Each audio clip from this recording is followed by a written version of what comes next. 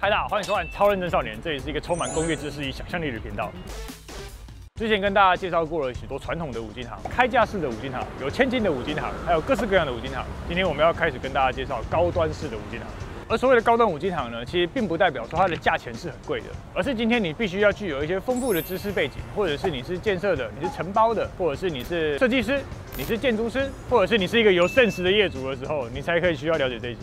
但是你不要紧张，其实这一集是对一般人非常重要的，因为你只要看懂今天这些特殊五金行的五金工具，不管是你要盖房子，以后要买新城屋，你要买建商的房子，或者是你要去做五金的加工，甚至你今天是小工厂，或者是你是 CNC 厂，或者是你是一些五金焊接厂，你都很适合看这一集，因为里面有非常多的一些特殊五金工具，它就透过一些简单的力学功能做出来之后，每年销到全世界几千万个，基本上这是一个发财省钱重要的一集。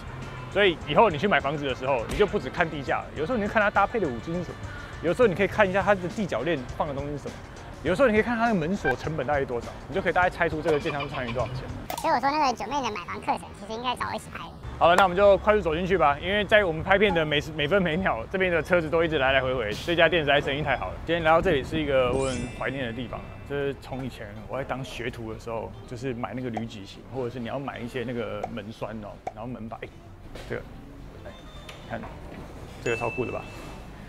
然后你说后面那个没有，我在说，我不是说后面穿，我是说前面这个。我不晓得你怎么都四块。我这样轻轻碰一下，这不是电动的哦，这是完全靠着力学原理跟机械原理的结构，然后去做成的。这样子，你看一拉。两边联动的，这个等一下我们再慢慢跟大家讲。像我们在做建筑或者是做房子里面的时候，门其实是老师傅在做的，作为老司机真正有实力的人才去做门。那为什么我以前我从当学徒的时候就会来这种专门专项的五金行呢？其实因为这种五金行里面卖奇奇怪怪的东西特别多。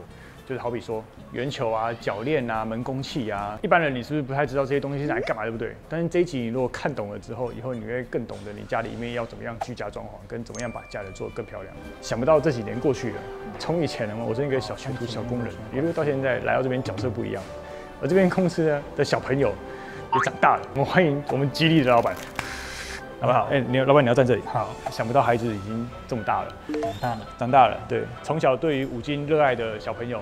长大之后想要脱离家庭，也不是 做出更不一样的东西。是，但是老板，因为我们频道有一个特性，通常男生出现了之后，我们的流量就会瞬间往下。啊，我知道。所以请你离开，谢谢。好，再见。等下老板就麻烦在后面帮我们做资讯的补充。今天我们在这一集里面，就是会除了介绍小工具之外，然后也会介绍到刚刚那个很特殊的联动拉门。一般人一定不太懂这个结构是怎么做的，所以我们先从基本的这间五金厂到底在干什么来开始跟大家介绍啊。如果今天你的工作会涉及到铁工类的话，你今天来这种五金行一定会超嗨，就是它从测量工具啊，或者是到踩门道的东西啊。甚至到连这个 Empower 就是砂轮片，你看它的砂轮片是用盒装的，你知道盒装的砂轮片有多重要吗？砂轮片大家都乱放啊，所以就是你有的时候都丢到包包里面，那就被折到，然后折到之后，那你出来切，然后就断就破掉，然后就射到自己，就射到旁边的人。有的时候那个漂亮的包装不重要，有的时候是盒子就是装起来让砂轮片安全的比较重要。比如我们以前有教过大家抛光，对不对？所以就是你要用什么牛布轮啊、边布轮啊，或者是你要什么马轮，就这一类的专门店，有的时候一般一般我经常买不到，但是在这里买得到。然后就哎，C H 晒衣架，各位，你家的晒衣空间不够用吗？就是你只要几颗壁虎，那你在这种专门店，你就可以买到这种电动式的晒衣架。老板要补充什么吗？新好男人代表，你是说装这个是新好男人代表，还是家里有这个是新好男人代表？对对对，因为让那个另外一半更好晒衣服。哇靠，你看，不是吧？就是你要自己晒衣服啊？啊，我自己晒衣服。你在家是你晒衣服吗？对，我晒衣服。真的吗？我们录起来了。有时候家里就是每个人长辈的身高不太一样，或者是今天你的空间需要要大要小的时候，你就是可以在这种专门五金行，你就是买到是一般不一样的晒衣架。如果不一定要装电动的，或者是你那边配电不方便，那你也可以装手动的。然后把衣服挂好了之后呢，你就可以再把它转上去。假设今天你是在那个农村或者是在乡下，然后可以拉电不方便，或者是户外，这个方便。好，再下一个，我可以看一个奇怪的东西。你可以看到每个盒子里面有腰锁、地锁、辅助锁、多段锁、喇叭锁、指示锁，然后还有一路到这边就是现在很流行的电子锁。然后电子锁现在也做的非常厉害哦，像这种各式各样的电子锁，就有一些只要用指纹，然后开进去就没有我的指纹，或者是你可以从远端开锁。你今天在日本，你也可以帮台湾的家人开锁。所以它这种就是装门、装框，就是各种奇奇怪怪的，就是你会用到。像这种铝雕的装饰板，或者是那种铜件铸造的，这个可以干嘛呢？就是你家大门，你可以装外面。好像将近快十年前，我这边买过一个，然后到现在还放在我仓库里面，因为我不知道装在哪里。然后你知道什么是那个吗？地铰链。你知道地铰链是拿来干什么的吗？是不是完全没概念？没有。我们先从铰链讲起好了。你只要先看得懂铰链，你大概就可以知道地铰链哦。像这个我们就称为铰链，这个有概念吗？门旁边的那个吗？对，你只要家里面是开那种九十度的门，就是你一定上面通常会有这个东西。比较专业的五金行里面，它光是铰链哦，就是有人讲小耳朵，然后有人讲奥六，或者是大双叶、小双叶，然后 铁海，就是看你是铁瓦的还是你是。啊，双叶铰链，然后这个就是工厂或者是重工业用的，你可以把它想象成你把一个木板或者是把一个钢板锁在上面了之后，你的门它就是就可以这样打开。所以你知道那个做好了门之后，就是有门框嘛，跟你的门门配合完之后，门上面有锁，那基本上这三样东西那它就构成了。然后也有人会拿这个东西然后来做门，就是用轴承，就是培林，哦？这个里面。我知道看我们频道的有许多是小型的加工厂或者是小型的代工厂，就是有时候你做这种小东西，就是今天你看得到的所有想象出来的东西，你可能做一个之后，你每一年的单都可以靠这些东西量产。你怎么样把它改良，怎么样把它优化？像这种轴承的奥六嘞，它就是把你要的门把它焊在上面，或者是把你要旋转的东西焊在上面，你就可以利用这个轴承，然后去开关你的门，搭配你的门框。就有这种什么车芯的哈，掐芯奥六，所以这种铁工类的五金行或者是这种高端的五金行，就它卖的就比较不是一般的那种民生用品的东西，它卖的就比较会真的是工业工程，然后专业的人使用的。那地脚链它就长长这样，跟地脚链就长这样子，看起来就像是一个小盒子，但地脚链它的价格不同，它是依照它放的那个门的重量不太一样，所以你的地脚链的价钱也不太一样。你是不是看它长这样子，你也不知道它来冲它小，对不对？我先给大家一个简单的概念，就是门工器，门工器长这样。这个这个大家应该看过了吧？来，请看上面这个门，这个。当你在开门的时候，它是可以利用那个油压，然后第一个让门缓冲，然后第二个就是你让门可以自己推回去。但是如果你觉得这个很丑，所以很多豪宅啊、大件商他们用的就是地铰链，把它埋在你的门跟大理石地的之间，然后用这个东西的油压。然后去旋转你的门，让你它的缓开，然后缓缓拉，这样子你对铰链是不是有一个完全不一样的概念呢？你知道这跟一般那个耳朵的铰链那个价钱是完全不一样的，所以你去买房子的时候，就是你就可以看这个很小的细节，这个有一颗就是好几万。网上这个你知道什么？看起来也很不起眼，对不对？我跟你讲，这个削翻了。这个就是呢，我们小时候常常看到地上有那个黄色一块一块塑胶的砖垫。就是导盲用的嘛，现在不用那种东西了，现在用这种北亚走，哦高级哎，因为小时候那个塑胶软垫，它可能踢久会烂掉，会脆化，或者是你在一些豪宅电梯、市府的办公大楼，你在地上踢到这个小小的一块黄黄的那个，就是导盲钉，它就可以让一些行动比较不方便，或者是眼睛比较看不清楚的朋友，你可以用脚这个触感这样子，所以它光是这个哦，你看有红的。就是夜光的，夜光的夜光，然后就是有摩擦触感，就是完全不太一样的，有完全平滑式的，然后它就可以依照不一样的需求定做你不一样的导盲钉。像这个小小一个东西，想说，哎，靠，这什么时候用？其实它用量很多，我们注意那个十字路口，只要过斑马线的地方，就是一票在那边，一定会有。所以各位 CNC 做车窗的老板，你怕没订单吗？来做导盲钉吧。然后下面这个就这个小零件，是不是很多我们看频道朋友的工厂你都可以做？你看牙条嘛，对不对？镭射嘛，然后那个螺丝嘛、螺母嘛，这样子。那你知道这个可以拿来用在什么吗？各位建筑师、有美感的设计师们、家庭主妇，你可想象得到这个东西可以来干嘛？老板，你说，这个叫做雨棚拉杆哦，雨棚。这个可能听到这个字也不知道这是干嘛。那简单来说，就是我们大楼的遮雨棚。对，遮雨棚，你是不是？通常要落地，有一些设计师画出来东西很不符合那个地心引力。雨棚哦，我伸出去，要么就是落地，让它比较安稳。那雨棚拉杆就是拉住雨棚，它可以直接锁在你的那个建筑上，这样子你的整个房子看起来就会很简约。结构就是这样简单的设计。大家如果看到这样子类似的五金零件，你都可以想办法怎么样去把它可以改良更好，或者是让现场施作的人做起来更方便。开发这种东西其实是很赚钱的。那这个这个这个也可以让大家看，想想在干嘛的？手把，手把很好，放在哪的手把呢？你说手把这样子，看起来是铁板烧。对对对对对，就是地上啊，埋在地上的手把，你看，比如说那个人孔盖啊，就是你要在地上也要装个暗门，有没有？以前传统式就很丑，不然就挖一个洞，但挖个洞就很容易把脏东西流下去。它这个就是你在砍在地上的时候，它平常是这样子的。那当今天你要这个下面的门把它拉上来的时候，你就可以这样子拉用掉，弄起来就会比较好看。然后它也不会影响你的那个行人在行走的时候脚会去去踹到它。所以对于门把，你又有很多概念，对不对？从这种漂漂亮亮的，就是很多奇特的门把，然后一路到刚刚我们讲那个铰链。就是你是不是对门的概念就是越来越有想法了？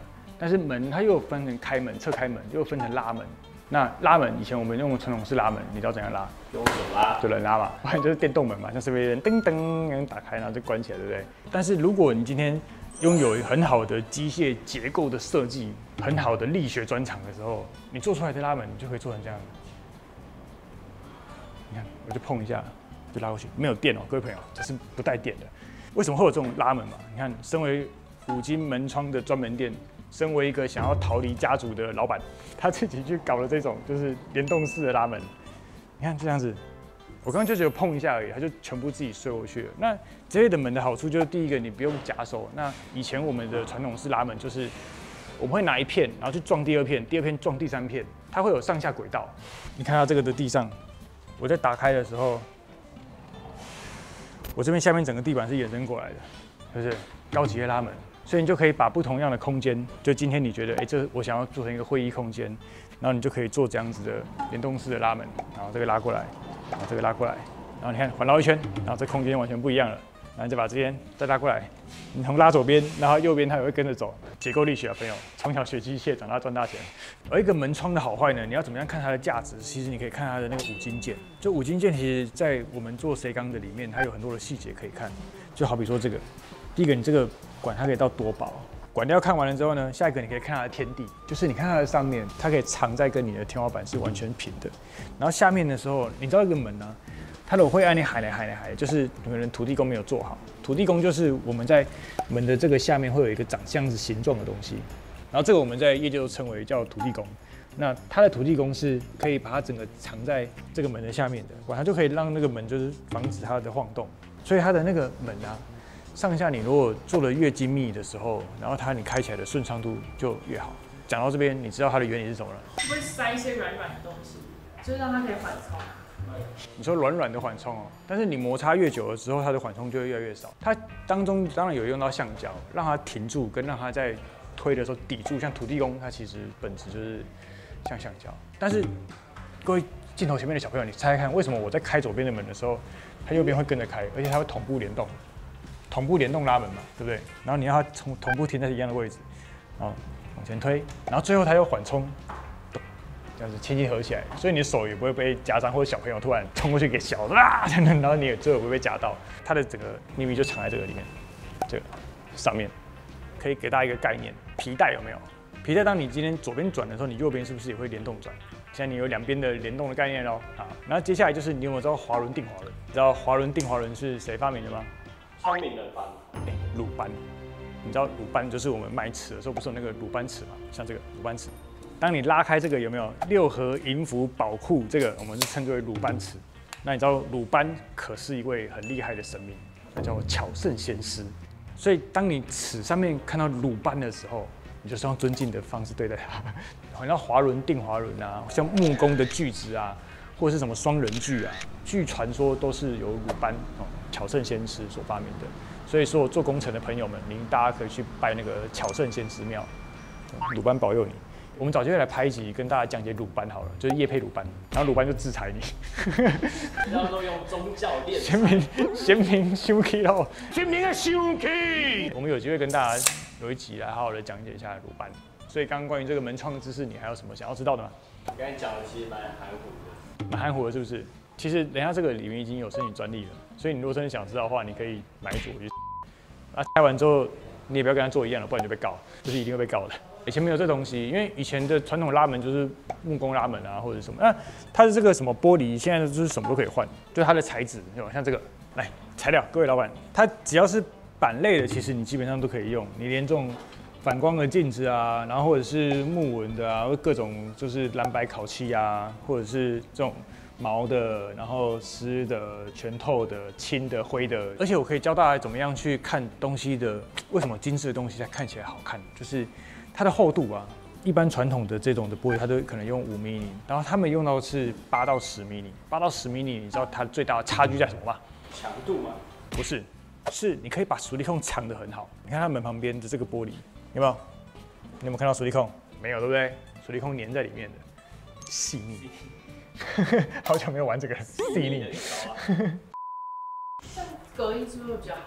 当然也会比较好。声音是来自于声音的震动。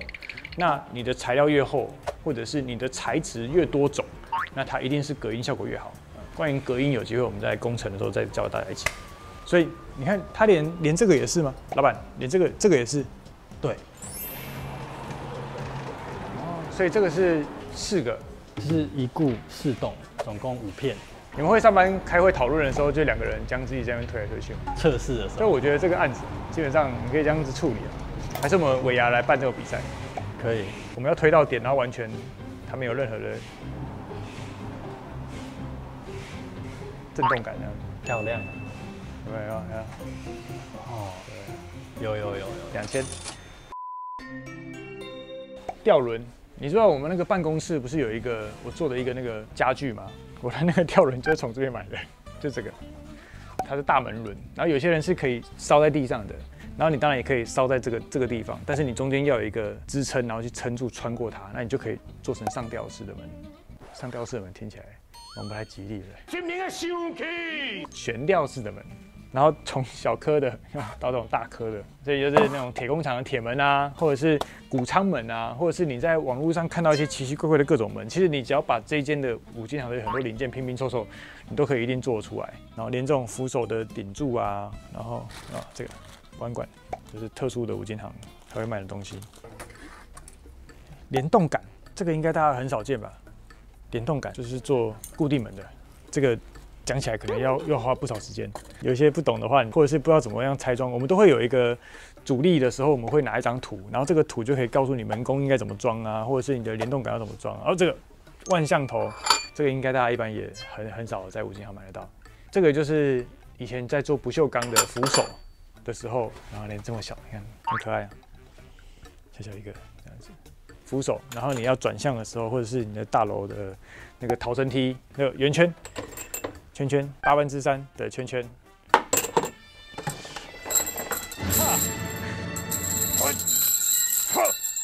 各位你在五金行是不能干这种白烂的事情的，除非你今天跟老板认识，不然你真的不要这样做，你一定会被打，然后一定会被赶出去。我来给大家看一些大家比较少见的东西好了。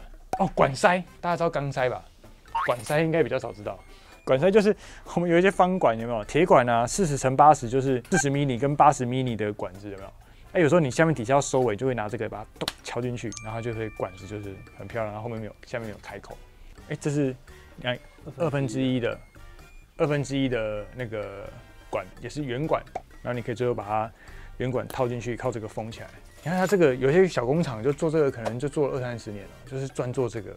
然后旁边这个很小的小设计，就是让你的管塞比较不容易脱落。有没有是从你小时候来的时候就有的东西？这渠道是，因为其实这种白铁东西越来越少用了。以前比较常做公园阿伯在吊当样那种扶手、栏杆扶手都是用北铁的。哦，管盖应该少见吧？管盖就是管子啊下面盖着。所以你在一些大楼还是公共公园，像下面管盖就是一个圆管，然后它会在底下的时候收尾，就是一根这样子，想象得到吗？想象这里有个管管子。哦，跳钢管舞，跳钢管舞的那个下面它其实就会就底座它会有一个收尾的地方，然后可以塞住它的那个锁的固定的点，可以把它盖起来。旁边的这个壁虎就是哦。大家可以期待一下，我们之后会跟金属中心拍一个扣件，把这种锁固的啊、壁虎啊什么东西，我们会拍一个详细的一集跟大家做讲解。这一集大概就是这样子啊，就是我们的特殊五金行。所以台湾还有存在许许多多就是各种奇奇怪怪的各种五金行。那我们之后也会拍成就是不同的 EP 系列给大家看。好，那有一些我们放不进去的内容，我们就放在我们的会员频道里啊，也希望你可以加入我们的会员，支持我们这个工业知识的频道。那以上就是超新少年。如果你有想要知道更多的奇怪五金知识的话，欢迎你在下面留言告诉我们。那你如果喜欢这类影片，欢迎点赞或分享给你的朋友。那我们就下次再见喽，拜拜。你知道我买你们家东西最早是什么吗？你说是轨道铝几？这个这个这个就是这个铝几轨道长这样。你知道那个时候就是反正我问一个老塞，我跟他说我要做那个滑门，然后滑门有一个好像四驱车啊，这个这个这个有没有？这个很像是四驱车有没有？小车车，然后呢，它就会套在这个铝矩型里面，有没有？各位有没有想象出这是什么东西了？拉门。对，拉门就是你的拉门就是这样就就这样做起来了。所以你会可以先把铝矩形锁在你的那个装潢的天花板，或者是装潢在你的嘎嘎上面，或者是你的焊接的框上面。然后之后呢，你就把这个这个下面是固定你你要的门片的，然后把这个四驱车啊放进去在里面，你就可以这样唰就可以滑了。但是一般人一定想说，你一个门做起来之后，我们要怎么放进去，对不对？所以它会做成这样万向的。你想象一下，这是一个很大的板，你的门已经做好了，你的门你的门就长这样子啊，所以你不可能这样塞进去嘛，对不对？所以它会这样子滑进去。这样子，然后你就可以把你的门从侧面转成九十度，再转回正面，然后一边放的时候一边转进去，变成九十度，是不是？我是不是讲的你们听不懂？听得懂，听得懂，你不要装懂哦。哎，这很难呢，这个我一开始第一次做的时候，我想很久哎，就发现哦，原来这是可以这样转哦，哇，原来这样，哇，好聪明哦，这样子我震撼。就就是一个门的，我就要跟大家讲一下，你你要买这个上面的时候，你要算一下你的门带多重，这跟门的重量会差很多，就跟他们联动门是一样的，不然你的那个铝脊很容易坏掉。